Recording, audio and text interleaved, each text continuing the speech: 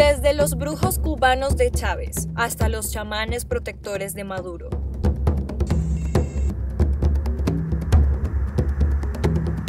Los mandatarios que han hecho de la brujería una política pública y sus convicciones más íntimas han removido todos los sectores de Venezuela. Asesinatos, torturas y desvío de dinero son los hechos que se esconden detrás de estas prácticas religiosas. Tendrán que reconocer que soy brujo. Antes de conocer los detalles de las prácticas que rodean el Palacio de Miraflores, los invitamos a suscribirse a nuestro canal y activar la campana de notificaciones para que sepan cuando publicamos nuestro contenido de impacto. Para ponernos un poco en contexto, eh, ya sabemos que las prácticas religiosas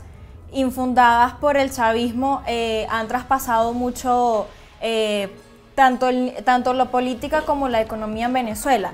Pero, ¿de dónde surgen estas creencias o estas afinaciones religiosas? ¿Dónde inicia? ¿Dónde inicia esta, esta ola de religión que, que aturde a Venezuela en este momento? Bueno, podríamos decir que se remontan a la infancia, a la adolescencia, a la etapa de niñez, de juventud, de la temprana juventud de Hugo Chávez. Cuando él crece en ese sabaneta de Barinas, escuchando los cuentos de las ánimas de la sabana, eh, de la llorona, del hombre sin cabeza, del hombre que fuma, eh, de, ese, de ese entorno rural, también profundamente prestigioso, donde se dice que por cada siete casas hay un brujo, eh, él forma parte y comienza a atraerse por estos cuentos, por estos relatos fantásticos, por estos eh, relatos de espíritus desde muy temprana edad. Luego cuando entra en la academia militar, ve que un cadete muy popular, eh, que tiene, bueno, eh, era también músico, hacía sesiones espiritistas, jugaba la Ouija y atraía la atención de otros soldados. intenta de alguna forma repetir ese patrón que vio en ese joven que era tan querido en la academia militar, él también empieza a ingresar en, estos juegos, que no, eran más que juegos eh, iniciales, y cuando alcanza la presidencia Hugo Chávez, ese carácter marcadamente creyente, supersticioso, ha llegado a la, eh, a la convocatoria de los espíritus, ha llegado a, si se quiere, la brujería, pues comienzan a convertirse en una política de Estado porque es la política de la personalidad de Hugo Chávez la que se termina por imponer desde la presidencia de la República. Por eso yo siempre eh, les comento a quienes me dicen que estos terrenos de la superstición eh, no dejan de ser, eh, no, no, deberían, digamos, trascender del ámbito privado. Yo siempre comento que cuando una persona con amplias responsabilidades como, Hugo Chávez o cualquier presidente eh, de la República trasciende eh, de su ámbito individual y comienza a hacer de estas creencias, em, de estas, eh, sí, de estas tendencias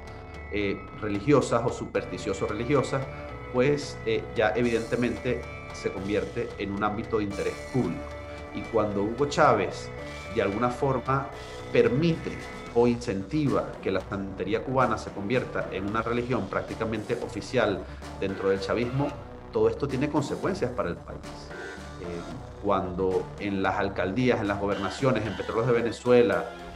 en la propia presidencia de la República, se convierte a la santería, al espiritismo, en una práctica de política de Estado y se subvenciona y se pagan estos rituales con dinero público, pues por supuesto estamos hablando de un tema que es de interés general y un tema que eh,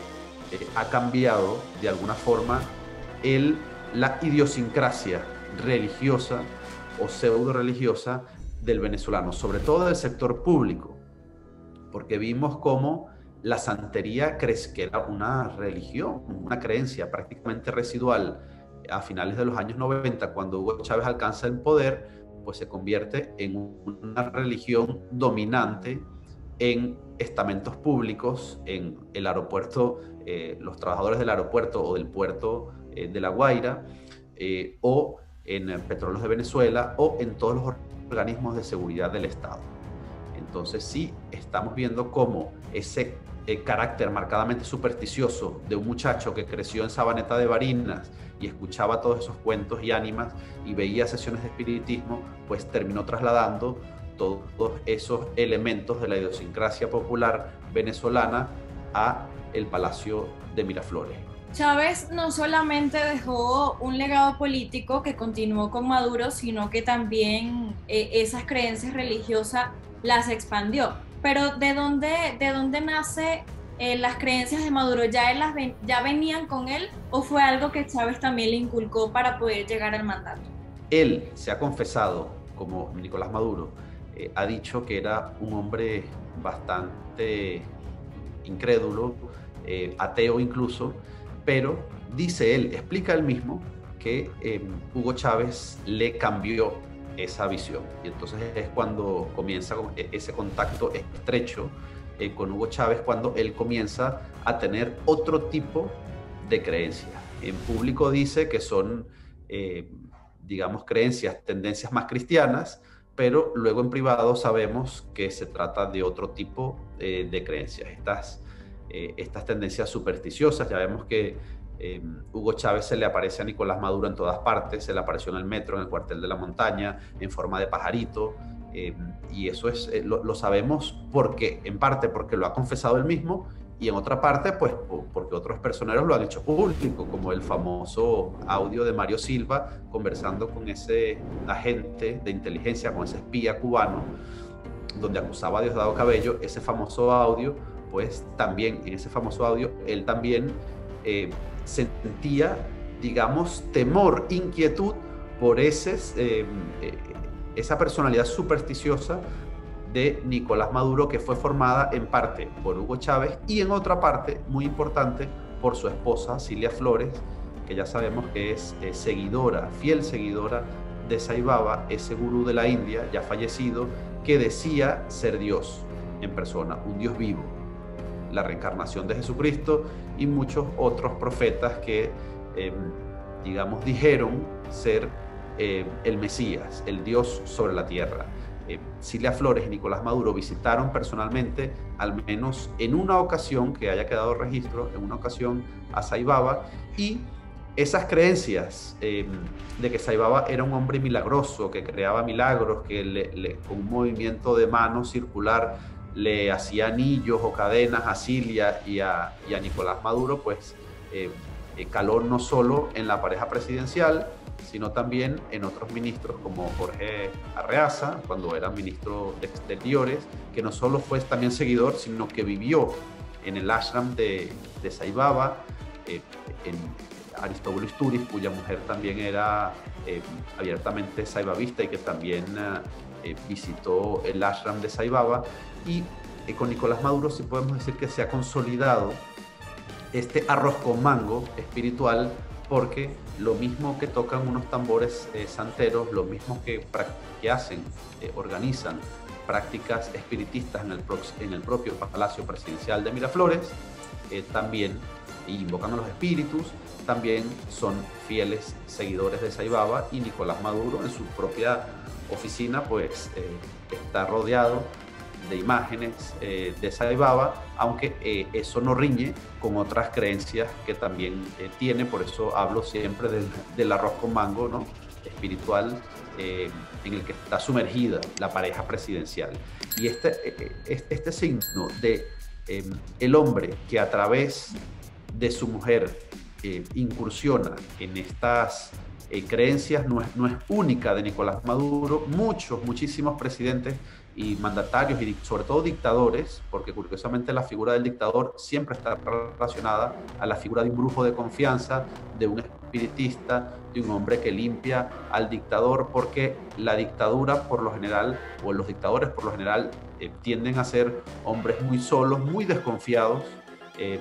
del entorno que los rodea y solo confían eh, sus destinos y su protección a los brujos eh, de máxima confianza. Ha pasado desde Perón o, los zares de Rusia con Rasputín o los propios dictadores eh, venezolanos. ¿no? Eh, Misia Jacinta también tenía su, eh, su brujo eh, particular, que posteriormente eh, también terminó siendo el brujo del dictador, el propio Juan Vicente Gómez, es decir, y, y, figuras de la democracia venezolana también presidentes, como Carlos Andrés Pérez, Rómulo Betancourt y su famosa pipa embrujada, la bruja de Carlos Andrés era Evenia Rengifo, Jaime Lucinchi, es decir, en, los presidentes venezolanos, en los últimos presidentes venezolanos de la era democrática, también hemos visto repetido ese patrón, el del hombre en las máximas alturas del poder, desconfiado de todo lo que le rodea y solo confiando los destinos suyos y los del país a un brujo, a un consejero espiritual, a un espiritista o como queramos llamarlo. Sí, comentas que, bueno, no es la primera vez que un presidente eh, tiene ese tipo de inclinaciones religiosas, pero yo creo que no, no han habido presidentes como Chávez y como Maduro que han eh, plantado tanto y se ha visto afectado tanto a Venezuela a raíz de esas, de esas creencias. Creo que son los dos presidentes que más han hecho inclinación de sus creencias religiosas. Eh, Te diría dos presidentes en, la, eh, en el último siglo probablemente, pero como te decía, eh, Juan Vicente Gómez, por ejemplo, antes de, probar incluso una comida, el brujo era el que lo probaba, ya, ya para... Eh, y, el brujo hacía política de Estado también desde el indio Tarazona, ¿no? Eh, desde la, propia casa presidencial. Eran otros momentos, otra era histórica, pero es cierto que los, si enmarcamos, por ejemplo, los últimos 100 años, pues probablemente sí, porque quedaría fuera Joaquín Crespo, que era otro, eh, digamos, pionero también en, esta materia, y Juan Vicente Gómez. Eh, quitando estos dos dictadores, pues probablemente sí, efectivamente, Hugo Chávez y Nicolás Maduro llegaron más lejos que ningún otro presidente en esta materia. Sí, en el segundo libro, en El dictador y sus demonios, es decir, en los demonios de, Nicolás Maduro, los demonios que rodean a Nicolás Maduro, pues eh, quise hacer eh, un paralelismo, porque es un paralelismo grotesco, entre esos, esas máximas, premisas que sigue Nicolás Maduro en esa pseudo religión, en esa creencia y en esa secta, como la de Saibaba, que son pregonar y practicar diariamente la paz, el amor, la justicia, la rectitud, la verdad, esos cinco principios básicos en los que se basa esa religión, esa pseudo religión o esa secta, em, contrastan enormemente, porque es prácticamente todo lo contrario a, su acción diaria, em, que es el exterminio, el espionaje, la persecución eh, del adversario político y de todo el que enfrentársele a Nicolás Maduro ¿no? en, en esta lucha diaria que no es otra que la permanencia eh, férrea en el poder. Em, entonces, eh, allí creo que hay una contradicción de vida eh, flagrante, evidente, en cuanto a un hombre que dice pregonar la paz y el amor, pues termina convirtiéndose en ejecutor, en asesino, en perseguidor, no solo él, sino todo el círculo que lo rodea, principalmente sus asesores políticos de seguridad y de espionaje, que no son otros que el régimen cubano, al cual está claramente eh, subordinado. Eh, no, como te dije anteriormente, no queda reñido eh, esa, o no queda reñida esa creencia saibavista de Nicolás Maduro con la práctica de la santería cubana que sigue siendo y sigue manteniéndose como una religión muy importante dentro del chavismo y combinada con otras como la la llamada a los espíritus que se sigue practicando en el Palacio Presidencial de Miraflores, porque cuando Silvia Flores dice que bajó el propio espíritu de Chávez para decirle qué es lo que tienen que hacer, pues evidentemente mm, tal vez eh, hay una creencia religiosa, pero seguramente también hay una manipulación eh, de las creencias religiosas de eh, sus, colaboradores y sus allegados. Para muchas personas es difícil como mezclar lo que es la religión y la situación que se está viviendo en Venezuela. ¿Cómo se puede o, qué, o qué reacción tiene eh, estas creencias en la situación que está viviendo Venezuela ahora? El simple hecho de que haya gente convencida dentro del propio chavismo que estas herramientas, estos instrumentos les sirven a ellos para mantenerse en su dominación y para aferrarse en el poder, pues em, creo que es, em, digamos, una prueba sintomática de el color que está tomando la dictadura venezolana, una dictadura profundamente supersticiosa y que al margen de que si le sirve o no le sirve, en el caso, por ejemplo, de los monumentos, los extraños monumentos que se construyen en Caracas, eh, tenemos que preguntarnos si ellos creen que eso le está sirviendo. Al margen de que eh, pues puede haber gente que dice que esto funciona y otra gente que es completamente incrédula, lo cierto es que ellos están completamente convencidos de que estas cosas son muy útiles para ayudarlos en la permanencia del poder. Por eso son tan persistentes en celebrar estos actos eh, de brujería, estos hechizos en monumentos de la nación, eh, y, son tan importantes. el propio Diosdado Cabello, en una locución hace unos años, denunciaba cómo un grupo de rebeldes venezolanos tenían como plan derribar la estatua de María Leonza en la autopista Francisco Fajardo en Caracas. Y el propio Diosdado Cabello eh, dijo que esto eh, era un elemento de simbología muy importante eh, para ellos. Tenemos que recordar que la imagen, la estatua de María Leonza que está hoy día en la autopista Francisco Fajardo no es la María Leonza original eh, construida en, la era de, en la época del dictador Pérez Jiménez, que está en la Universidad Central.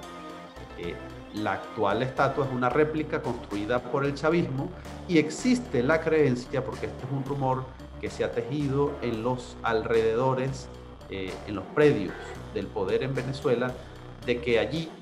eh, incluso dentro de la propia estatua, hay elementos de brujería, como, se han, eh, es decir, como, el rumor insistente de otros muchos otros monumentos erigidos por el chavismo extraños, como las gotas de lluvia, también en la misma autopista, el elefante dorado, la pirámide eh, en la autopista Valle Coche. Eh, hay una creencia de que estos monumentos de estética extraña y que también otros dictadores o otras parejas presidenciales supersticiosas, como la dictadura eh, de Ortega en Nicaragua y su esposa Rosario Murillo, también muy creyente en estas cosas, pues eh, son útiles para los dictadores para permanecerse en el poder. Y es curioso como en Nicaragua, cuando en una de las revueltas en contra de la dictadura, también los manifestantes destruyeron esas figuras y en Venezuela también había un plan para derribarlas, tal como denunció el propio Delgado Cabello en una alocución televisada. Entonces, em, el, el hecho de que ellos crean que esto les funciona y que sus adversarios trabajen por derribar estas estructuras sobre las cuales se ha tejido el rumor de que sirven para cometer actos de brujería, de espiritismo, eh, rituales de santería cubana, pues es como mínimo llamativo. Es posible que, que la situación que está viviendo Venezuela ahora esté muy inclinada a la, a la parte espiritual y en, que, en, la parte económica, cómo afecta los rituales que el gobierno de Venezuela hace al sistema económico de Venezuela. Eh, hay partidas secretas incluso en, en Venezuela que disfrazan el verdadero fin de ese presupuesto. En mi segundo libro conversaba con una trabajadora de Miraflores que explicaba cómo eh, se disfrazaban por partidas de papelería, por ejemplo. Es decir, hay evidentemente un desvío de fondos para disfrazar el verdadero propósito de los recursos, insisto, recursos públicos del Estado destinados a estos asuntos. El propio Pollo Carvajal, en una de las tantas, eh, digamos, denuncias que ha hecho después de que se ha enfrentado al chavismo, también ha explicado como uno de los ministros, el exministro eh, Osorio, pues también desvió dineros públicos para enviar eh, a La Habana aviones de petróleos de Venezuela para hacer actos eh, de brujería relacionados también con la santería cubana. Esto lo ha dicho el Pollo Carvajal y también hemos tenido otros testimonios que evidencian que el desvío de recursos públicos para celebrar actos espiritistas, rituales de santería, brujería, pues se hacen en lugares públicos. Yo mismo pude visitar el Palacio de Miraflores en el año 2013 eh, que fue la última vez que yo pisé Venezuela, y pude ver como en el propio Palacio Presidencial, e incluso les saqué fotografías de ello, pues eh,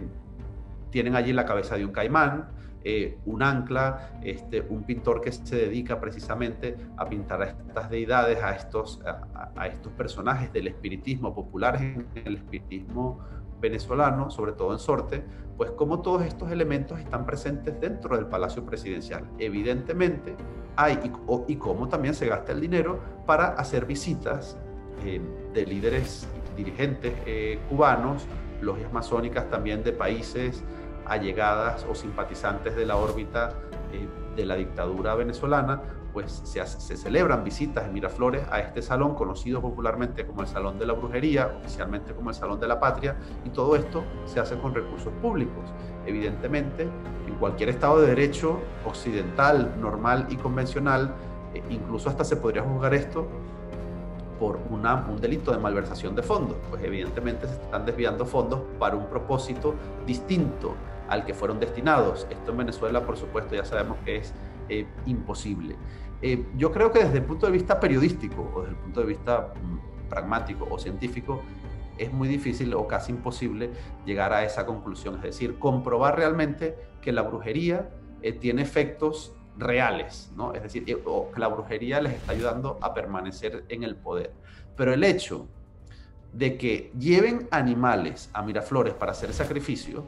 o cadáveres de animales, o simbología eh, muy extraña, eh, muñecas de todo tipo, eh, materiales oro, plata, bauxita, que están presentes con pétalos de rosa, velones en el Palacio Presidencial de Miraflores, pues como digo, es como mínimo llamativo e iría un poco más inquietante, ¿no? Es decir, tener todo ese panorama en lo que es un palacio presidencial que rige los destinos de un país y que todos estos elementos sean de suma importancia para el dictador, para el mandatario que rige los destinos de todo un país, eh, yo creo que al menos en, los tiempos que corren tienen muy pocos precedentes eh, en, eh, en, el mundo o, muy pocas contrapartes. Yo no me imagino, por ejemplo, a ningún presidente europeo en estos asuntos. Sí me puedo imaginar a otros presidentes o mandatarios latinoamericanos en estos asuntos, efectivamente tal como lo hace eh, Nicolás Maduro. Pero el hecho real, las consecuencias reales, si a eso vamos y contestando un poco a tu pregunta, eh, se pueden eh, traducir en que, por ejemplo, el dominio cubano penetró profundamente a través de la santería cubana en Miraflores y se expandió como método de espionaje. La santería no solo sirvió para que los dirigentes chavistas creyeran que con ella pues se iban a aferrar al poder y iban a, eh, imponerse con dos objetivos eh, básicos. Uno, permanecer en el poder y el otro, y muy importante, destruir al enemigo, porque la santería es una de las pocas religiones en el mundo eh, que también puede trabajar para hacer, digamos, daño a, al prójimo, ¿no? Entonces se hacen rituales para destruir a una persona, para eh, que se enferme, para que los males le lleguen, digamos, a un enemigo. Cuando, eh, si observamos, eh, digamos, de forma simple cualquier otra religión, pues casi todas pregonan, por supuesto, el bien propio y el bien ajeno. En, estas prácticas más procedentes, ya, ya vienen de cultura, eh, de las tribus africanas más primitivas, pues el dañar al otro, el, eh, eh, digamos, causar mal al enemigo, al adversario, pues es un elemento que está siempre muy presente, causar la enfermedad, el dolor, la muerte al propio adversario es algo que está muy presente en las tribus primitivas africanas y que de alguna forma se ha heredado en la santería cubana y sirve mucho, entienden ellos, sirve mucho al chavismo para mantenerse en el poder. Y a mí me dijo un eh, santero chavista en, esa investigación que hice para los grupos de Chávez que ellos estaban muy contentos en que sus adversarios pensaran que todo eso de la santería, de los, este, de los rituales, de los hechizos, de los trabajos, eh, no sirven para nada y simplemente son habladurías, porque en ese sentido sus adversarios siempre pensarán que todo lo malo que les sucede es por mala suerte y no por, este, eh, digamos, el efecto real que, tiene, eh, que tienen en la vida diaria, ¿no? O en este plano, no sé si decirlo así. David, ya para finalizar, me gustaría de acuerdo a, tus, a las investigaciones que hiciste y, haciendo esa división o esa comparación entre los brujos de Chávez y el dictador y sus demonios, eh, ¿qué comparación existe entre la forma o las creencias que, o la forma en la que manejaba las creencias Chávez y la forma en la que lo hace Maduro? ¿Cuál es la, qué, qué diferencia hay entre ellos? Bueno, además de la diferencia eh, que te mencionaba al principio, de esa línea, esa nueva línea eh, saibavista que no deja de ser em, una secta, yo mencionaba allí en el, en el libro como hombres de negocio, eh, traductores, eh, hombres que han, que han compartido creencia en relación con Saibaba, todos ascendieron y muy rápidamente e hicieron negocios muy prósperos al lado de Nicolás Maduro, porque en el fondo estas sectas religiosas también se conforman eh, como sectas políticas. Y entonces tú sabes que si el líder del movimiento eh, pregona una creencia, pues tú también debes pregonarla porque eso te va a ayudar a escalar en el poder y a ser más cercano. Por eso, eh, esa es una, más que una diferencia, es una similitud. Lo que pasa es que con Chávez se tejió alrededor de la santería y con Maduro se teje alrededor eh, de la secta eh, saibavista, pero es una clara eh, similitud. las diferencias están claras. Chávez caminó de la mano de la santería cubana pidiendo consejos a los santeros que les recomendaba Fidel, que en el fondo terminaron siendo espías. Los ojos y los oídos de Fidel Castro en Caracas eran esos santeros que acompañaban a los ministros, que acompañaban a los, al propio Hugo Chávez y a todos los hombres de, poder en Venezuela y tejieron una red de espionaje disfrazados de consejeros espirituales. Eh, y por otra, eh, por otra parte, eh, Nicolás Maduro sí em, dio, digamos, preferencia entre ellos a, a, Jorge Arreaza, pero hay muchos otros ejemplos de gente menos conocida, una ex fiscal eh, que también luego fue embajadora de Venezuela en Filipinas, el propio eh, brujo de Nicolás Maduro que vivía aquí en Miami, o eh, su, su, traductor Oscar Dorta. Enrique Rodulfo es el hombre al que me refiero, que es el, el, brujo de, de, Nicolás Maduro y que también fue consejero de, de Hugo Chávez. estos hombres también tejieron negocios, prosperaron, digamos, económicamente bajo la sombra de practicar la misma creencia propio Nicolás Maduro.